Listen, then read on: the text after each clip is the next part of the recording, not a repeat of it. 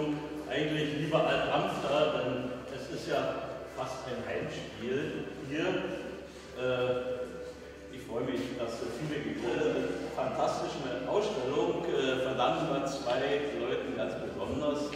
Einerseits Frau Riebelow, die es überhaupt nicht ertragen hat, dass zwischen der letzten Ausstellung und der nächsten Ausstellung so ein großer Zeitraum ist. Und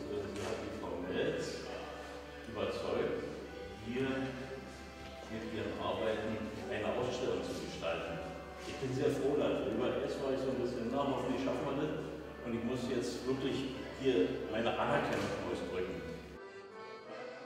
Wir danken Ihnen, dass Sie Vertrauen zu uns haben und Ihre Arbeit nicht zur Verfügung gestellt haben, dass wir die Sachen ausstellen können. Und ich denke, gerade in der Ausstellung wird für die Herr Dampfler wird spannend sein, immer dieser Aha-Effekt, den man hier hat, wenn man bestimmte Sachen, die man kennt, aus dem anderen Überwelt.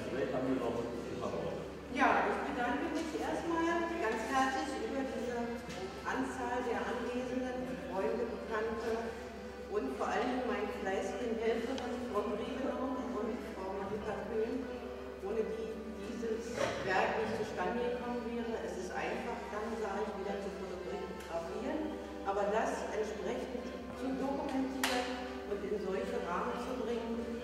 Also danke nochmal.